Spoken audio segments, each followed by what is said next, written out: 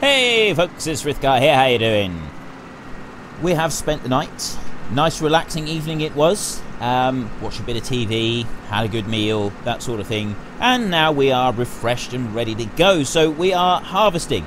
Well, I've started the harvest. I'm not going to be spending a huge amount of time sort of worrying about this. The combine is just going to work away and we will ferry the grain over to the store over there and we won't really be doing very much with it. We've got other things to do, but we're going to be based just over there getting the sawmill set up and then hopefully getting some trees and stuff cut. And I have got the logging trailers over at the um, the logging site that we've been using down over there at the moment. Although I am thinking that perhaps we'll bring the trailers and the Ponsse Scorpion King back here and chop down some of these trees. I'd like to remove some of these trees here like I did in the time lapse because they're so much better. It gives you so much more room and maybe some of those over there. So, you know, if we fell a load of trees around the yard, it'd be a lot easier to move around here and we'll have a lot more access. So that is definitely on the cards and maybe around the big field over the end there, over field, uh, what field is that? Um, oop, wrong button. There we go. Uh, field 12, yeah, around field 12, like down the end and that. Um, there's a few trees down there we could do with getting rid of some of those. Um, so, yeah, my question for this week I have been planning to do about 100 episodes on this map. That was the last question I asked. So now I'm asking again. We're coming up to, we're very close to episode 80 now. Do you want me to continue with the plan of stopping this series at around episode 100 and moving on to a new map, or do you want me to stay here until at least episode 150? It's your vote, it's your game. Head in the comment section down below, let us know what you want and why.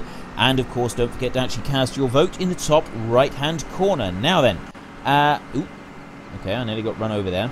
Let that one carry on with what he's doing. We've got to move a couple of things out of the way down here, and then we can set the sawmill up. I'd like to put the sawmill down here in the yard, and Unfortunately, there is no way to get rid of these few shrubs here. I was thinking, oh, maybe we could cultivate up the grow. We'd have to plough it first. But it doesn't get rid of these shrubs, so these shrubs are here to stay. But you can plonk the sawmill down on top of this, and it doesn't really look that much out of place once you've done it, and you can still access everything all the way round. So that is what we're going to do first. Um, well, actually, it's not the first thing we're going to do. What we're going to do first is we're going to get these wood chips here, and we're going to dump them on the floor. No, we're not. No, we are going to move this stuff out the way. So, let's come over here and leap into this one. This one is still under lease, however, it's so cheap on the leasing costs that I haven't really been worrying about it. I don't think it's anything that we need to concern ourselves with. We will stick with leasing it and not concern, not be worried about it at all. I'm going to need to get to that stump grinder at some point because we got, we're going to be chopping down these trees. Um, I won't worry about it right now. All I need to do at the moment is move that loader arm there, which is for this tractor, and the um, the water bowser there. Actually, I think I got fuel in that one, haven't I? That was our that was our little fuel station that we set up. So let's just drive into there and set that one up, and lift him up. I don't think I got a bucket for this one. Um, Although I don't think I'm going to need a bucket. We've got the pallet forks, and the pallet forks we will want. Um, what else am I going to need? I'm going to need a log grab, aren't I? Oh, hang on. I want to pick up that trailer. I'm going. Yeah, I'm going to need a log grab. Helper D has a nearly full grain tank. That one can wait just a moment. Let's pull this one out of here, and we'll set the fuel bowser up somewhere else. You can't use. This the one thing with the sawmill is you can't use fuel in the sawmill for the fuel. You need fuel for the sawmill, um, but you've got to have it with wood chips, um, with wool pallets, or there was something else. I can't remember what it is. But I don't think you're allowed to just use fuel, which is, I think, a little bit of a jolly nuisance. But uh, there's not a lot that we can do about that. So let's just back in here and stop there a minute so that that one's out of the way. Oops. And we've got that placeable there, but I don't think that's going to be in the way either. So now we want to put our sawmill down. So if I back up here a little bit so that I'm out the way slightly, and $200,000 this is going to cost us. Now, these here are actually quite cheap. And I've been told that in order to get the most out of the sawmill, you need to use that as well. Um, it really makes the pallets worthwhile, otherwise, it's kind of not really worth it. Um, but if we go to this one, and here is our mill. Now then, we need to be able to access the the end here, but I don't think we need to be able to access the other end. So what I'm going to have to do is I'm going to need to spin that one round. Um, that piece out the that's now facing towards the fence, we need to be able to access that. Uh, we need to be able to access... Oh, I think we've got to get into the side here. I think the only bit that we don't really need to access is over here. But maybe it'd be better if we put it down this end. I, actually, you know what? It might be. It might be better if we were to put it here um, so that we could sort of get round it a little bit easier. Because I was thinking to sort of put it here, right across the middle, and we'd be able to get access on all sides that we needed to. But then you got those shrubs in the way, and I don't really want them in the way. Um, and of course, you've got the, the like the passageway in the middle. I don't want that being sort of covered up with shrubs. Maybe if I put it here like this, so you can't I don't think if we put it here, I don't think you'll be able to see any of the shrubs sort of showing through it.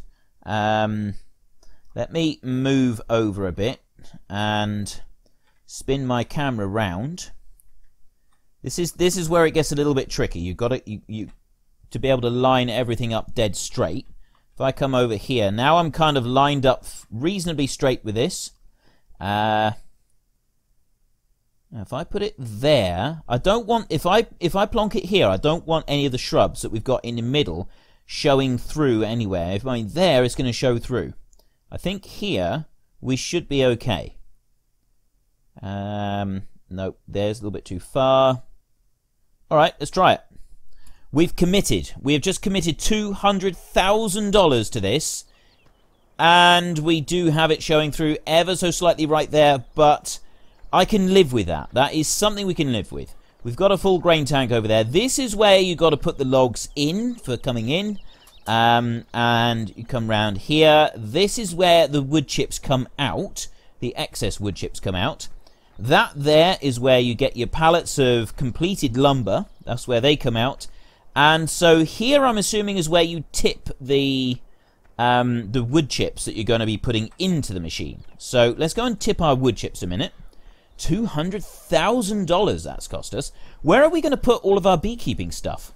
Um, we need a flat. We I think we need somewhere flat. Although you do need somewhere like dead flat for the sawmill. That's one sort of slight issue with the sawmills. You can't. It doesn't like build ramps up on the sides to help you with um, putting it in slightly more rough places. Uh, but the sort the bee stuff might you we might be able to get away with that. I'm certainly hoping that we can. So what I'm going to do is I'm going to come. Do you have to drive right in, or do we get a tip message? Do we what? What do we get? Let's um let's bring it to this, and Right, I'm not getting any kind of tip message at the moment. I think this is where we got to put it. I don't think we put it in the end one. Actually, I'll tell you what. Let's just take a walk around it while we've got the help up. It should then tell us what we've got to put in, shouldn't it? Um, if I go here... Oh, let's just enter into the tractor. I don't want to worry about that. Toggle map size. There's nothing here. Um, nope, nothing on that one. Right, so we don't really have... Ah, you got the screen here. So you got fuels, you got logs, and then you got products, wood chips, board, pallet, info, fuel, empty. Right, well, we don't have any logs in it either, so let's just turn that off. I'm assuming that we are trying to tip it in the right place. Maybe we've got to go in a bit further. Let me try... Well, I can't drive in. Can I just tip? Doesn't let... It doesn't like me just tipping there. Let me... I'll tell you what, let me unhitch that trailer. There.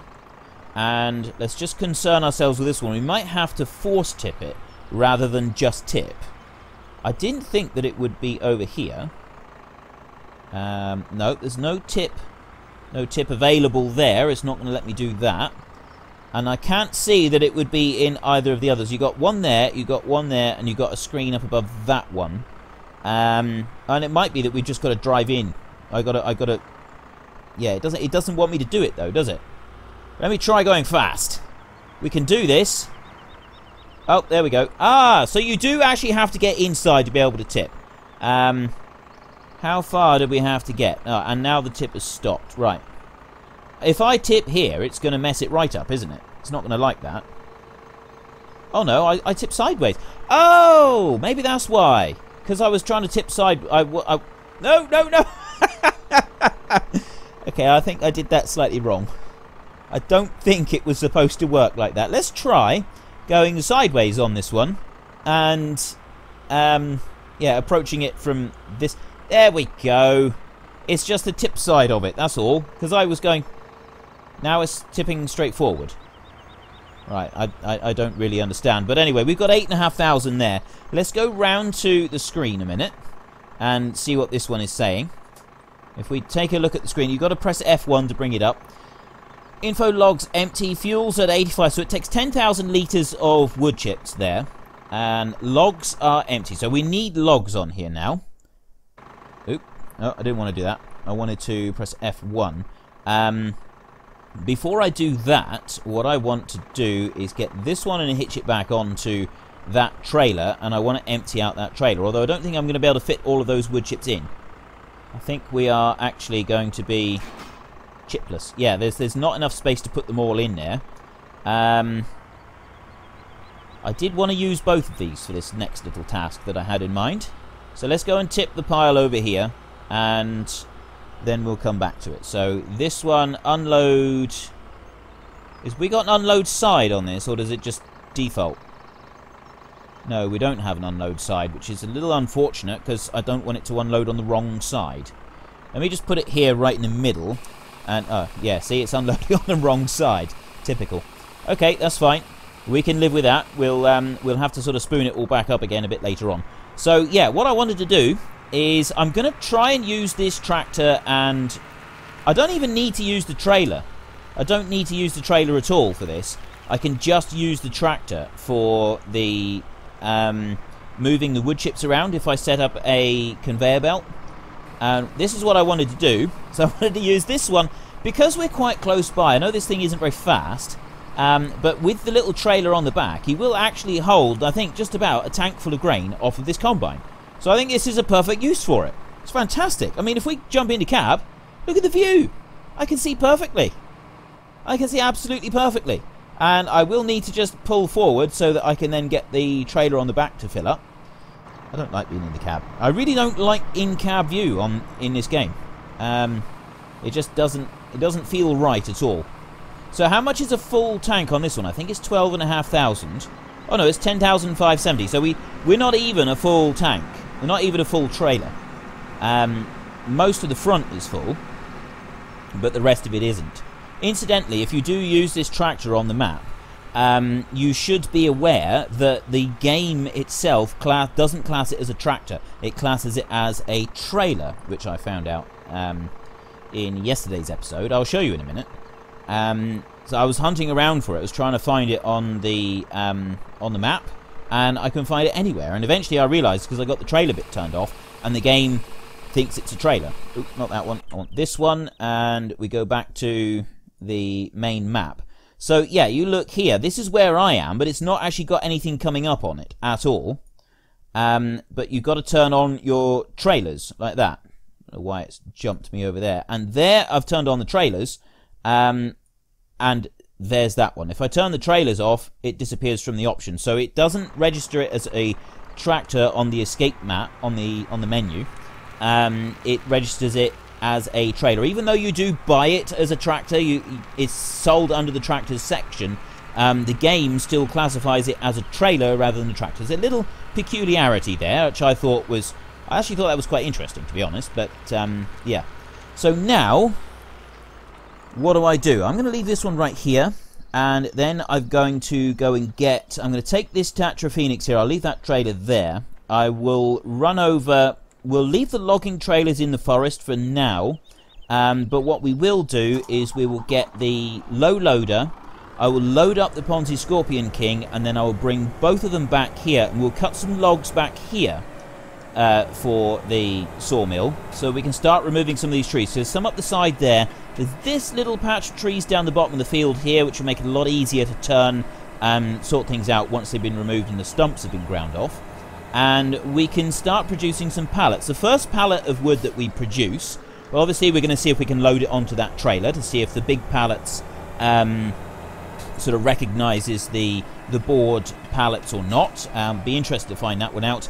And then the other one that we're going to do is I want to take the pallet oh because you can only sell them in the default game. You can sell them at a wood chip sell point. So we'll take one over and we'll see how much we get for one pallet. And then obviously the rest of it we're hoping to be able to put it into um, uh, hang on I want to stay here don't I so I can go get the, uh, the, the machine. Um, yeah we're hoping to be able to put the rest of it into the slow bee pack so we're going to be doing some beekeeping.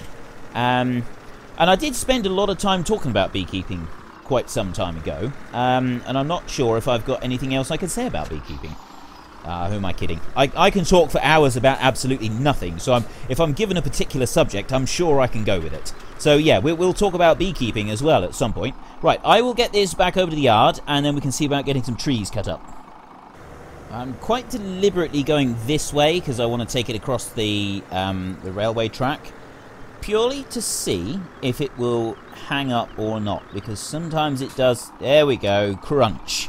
Every time if you move that in a bit it usually is able to get across. It's only if you've got it extended it then gets caught up on there. It doesn't look like there's a lot of room for it to get caught up on but it still does it. So one minor annoyance with this particular map is the way that it gets hung up on the um, the railway track there I do keep getting told off by various people for calling it a railway track because that is what I call it here in the UK. I've always called it a railway track. Apparently, if I'm in the States, it should be a railroad track. Um, I'm not quite sure why it's a road, but there we go. Um, that is what I keep getting told. So I will try to call it a railroad um, rather than a railway. But uh, yeah, it's it's a force of habit, like so many things. I've been doing it a certain way for um, over 30 years, and it's a long habit to break. It really is quite a long habit to break. That is. Now then, we've got the combine is full again, so we'll run up there with our little Fendt GT255 and go and unload it. I think this is a perfect use for this tractor. Um, close to the it's, it's close to the grain storage, so we we're not having to worry about it. When we're up the top field, um, we're not going to want to be using this. However, um, I wonder if we could still do it and just build a ramp up there somewhere so that we could park a big trailer underneath it and then run up the, the ramp with this and unload into it. That could work.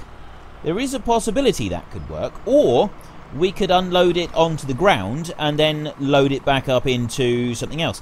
Because I frequently see in the States, in videos, grain being stored on the ground. And they empty out the combines and they um, have temporary storages on the ground in different places, which is then picked up later on because the, you get so little rain. And also, I've been told that when you pyramid the grain up in a great big heap, if it does rain on it, it's only the very outside layer of the grain that gets spoiled because the way the grains lie, um, it tends to be that the um, the grain or the water sort of runs down the outside of it, so it sort of forms a bit of a crust over the outside, and all the rest of the grain is perfectly safe and fine. Um, so yeah, it's, certainly something that I would look into. I, am not completely ruling that idea out. That could be quite interesting to to have a great big storage of grain up top. Um, I know we would then probably have to just take the conveyor belts up to, to load it back up again.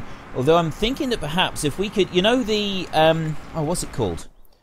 I have to have a look here. You got the, uh, for the sugar beet harvesting ones? Yes, this one, the Terra Felis 2 Eco um, that one there. But it only picks up sugar beet. But I have seen a modded one around. It runs faster than that one, um, so it will actually load things up quicker. But it's also been modded to take uh, lots of other things. I know that it can. I don't know if it's been modded to take everything, but it certainly takes all the grains. Um, so you could we could like pile the grain up on the ground and we could use that to load it all up. And for those of you who say, well, that wouldn't be realistic, it would just fall through. I have seen a machine like it being used for grain um, whereas it's not rollers on the front and it's not chain link um, conveyors. It's uh, conveyors like the conveyors we've got in the game, which is like a, a, just a big belt, and so is the infeed on it. Um, it's designed to take grain, but it takes sort of everything. Um, that could be a very, very interesting way of doing it. I, I, I'm not ruling that out as a possibility by any means, because I think that could be a really cool way of doing stuff. Um, let me just change that over. There we go. Uh, I can't I can't have both of them tipping at the same time. It's not letting me do it. It's a bit of a shame. I was I was hoping to be clever and get both of them tipping at exactly the same time. It doesn't seem to want to let me do it. Right, that one's out, and tip the last little bit of that one out. There we go. And so we've got the Scorpion back. We want to get a log, and we want to get that into our sawmill now. So let me just bring this one over here. We'll drive down to the end here. Um, we can come back and um, empty out the combine when we get the message again. Or we may even leave it until next time now, because we are starting to run out of time. What tree are we going to take first? I'm thinking... Do we do we actually know what size logs we've got to use here? Let me stop right there.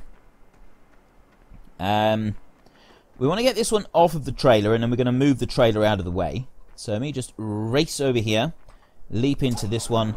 We'll unload you. I think we'll grab a tree over there, and we'll drag it back over, and we will cut it up. Um, we've got to find it. We might actually cut it up right next to the sell point so that we don't actually have to worry about getting a loader with a log fork on it today in order to move it. So we could just sort of see what the, the logs and the pallets do. I'll tidy up here a minute and then um, we can see about getting a tree over here. Okay, and as many of you know, I have to do most of my recording for the first three episodes of the week all on the same day. Um, so I've done yesterday's episode and I've done today's episode sort of back to back. However, I have got a really sore throat today and I'm starting to struggle quite a bit. I've got a drink and various other bits. So there is a very slight possibility this week that you won't get your regular three episodes. I will only be able to do two. I will obviously make it up to you um, later on, because but obviously if my throat is too bad, I'm not going to be able to talk. Um, so on Wednesday, when I normally do a episode and I do a um, time lapse, I may not be able to do my regular episode. I will have to see how it goes. Uh, because of my job and everything, obviously I can't do everything all at once. Um, so yeah, just giving you a little bit of warning, and I'm going. I'm not going to run to. I'm, i seem to basically do everything to 30 minutes these days, um, but I may not even be able to do that. So let's just bring this one round. I, I reckon if we put it here, it should be okay. I know, I know that like dropping it straight onto um, the rollers like this is probably not the most realistic way of doing this, but I think that it would be okay. I think we can do this just once. So let's just bring that one in and plonk. There we go. Really? There's the whole tree. Did it actually cut the tree, or did I just have it take the whole thing all at once? Let's have a look. It's saying 6,200. Um, so we got some logs there. What have we got to do, though? Have we, have we got to fill it right up, or what? Oh, it's working. Um, right, so Brennstoff would be fuel, is it? Fuels, I guess. Um, Holz would be the logs. I'm guessing. And at the moment, we've got Hackschnitzel. That would be, I'm guessing Hack Schnitzel is wood chip. So Brennstoff is fuel. Bretta Palatin would be the, the pallet of lumber. And Hack Schnitzel would be wood chips. Um, no, I... Ooh. Oh, there's a whole animation. It's been right behind me and I didn't even see... Oh, this is fantastic. I'm really glad that I didn't leave it so there were um, some branches up through here because that would looked really weird. Right now, that would be looking very, very peculiar indeed. But that is working absolutely fantastic.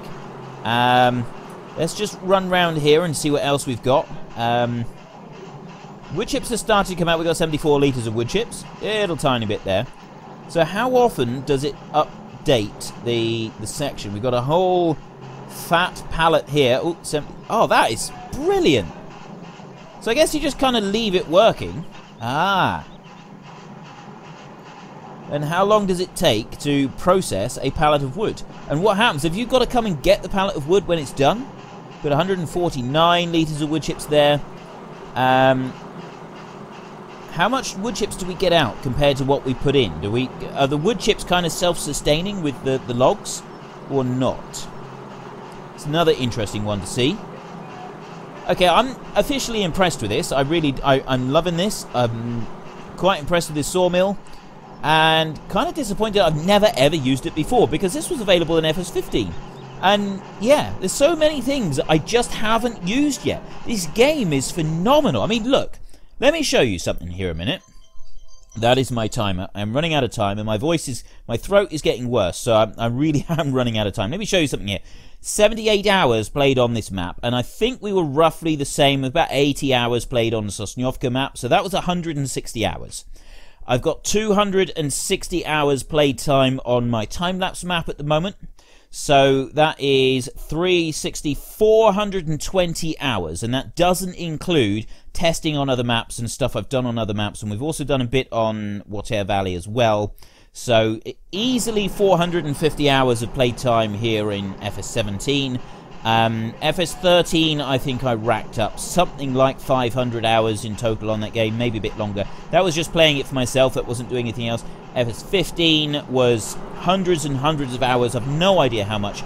At a very rough guess, with all the time-lapse stuff that I did in that game, I would say you're probably looking at nearly a thousand hours in total in FS15. Um, so yeah, and all that time, there's still so many things that have been available. This was available in FS15. I never got round to it. I just don't get round to it all. And that is what I love about this game. There's just so much stuff out there. The community is just so incredible, producing all this amazing, amazing stuff. Um, and yeah, you, you don't even get to see it all. You, you, you just can't physically get round it all. And that is something that I, I just can't begin to describe how awesome that is for me. Um, yeah, so anyway, that's that's our sawmill running. We'll we'll run up here and we'll get a little bit more grain out of this combine as it's waiting for us. Um, and once again, the reason that I go on a lot about not abusing the mods, if it's available on ModHub, download it from ModHub. For goodness sake, don't go and get it from another website if it's on ModHub. And if you see it on ModHub, um, and you see it on another website, if there's a way to report it, then report it because it's been stolen. It shouldn't be there. That is the kind of thing that discourages the modders from making these incredible things that we get to use, right? Um, so yeah, if if you see, avoid those websites that steal mods, right? And Mod Hoster, that one is kind of a grey area. Some modders like it, some modders don't like it, um, but it does they're very good at when you report a mod, um, getting it removed, and also the community in general. If they see something that isn't um, by the person who's uploaded, it gets downvoted massively. So if you see something that's got one star, chances are it's a stolen mod um, and shouldn't be on there. Um, so yeah, the, the, rating system is really good for sort of keeping up to date with what's good and what's not over on Mod Hoster. But in general, um, please just avoid using the dodgy sites. Avoid using anything like that that is stealing modders' um, material and sticking it elsewhere. We don't want that. We want those modders to be happy. We want all the modders to be treated fairly. And if they've got something on the actual mod hub, on the in-game one, they can get paid for the downloads. So if you're getting it from somewhere else, they're not going to get, they're not going to make their little bit of extra money. It's not a full-time living by any stretch. It's a small amount of money that they can get paid as sort of an incentive to keep doing what they're doing, and which is fantastic. They're, they're spending hundreds, if not thousands, of hours of their time providing us with some very incredible content. And I think the least they deserve is a small stipend for their time. Um, so yeah, do not, please, do not go to other websites. Um, I know I have in the past provided links to some of those websites in my ignorance. Um, that is something that will not be happening ever again on this channel. I can promise you that. The only reason it did happen in the past was because I didn't realise that it wasn't original links. Um, and I do my homework. Now, if ever I use an external mod, I really do my homework to try to find the original download link. Um, and if you think I have mistakenly supplied the wrong link somewhere, for goodness sake, let me know, because I can't do anything about it if I don't know. But anyway, I'm running out of time, so if you would like this series to run to just 100 episodes, that is my weekly question, then let me know. If you would like me to run it longer and go to 150 episodes at least, um, then again, let me know. It is your vote, it's your game. Do you want me to run this, stop at 100 episodes and move to a new map, or would you like me to go longer and go to a minimum of 150 episodes here in Goldcrest Valley? Uh, head into the comment section down below, let everybody know what you want, and of course, don't forget to actually cast your vote in the top right hand corner. If you've enjoyed this episode, then please head down below and give me a like, and if you really enjoyed it, then please tell your friends all about me, get them to come and watch as well. That would be awesome. But until next time, thank you very much for watching. This is Frithgar. Goodbye, and see you later.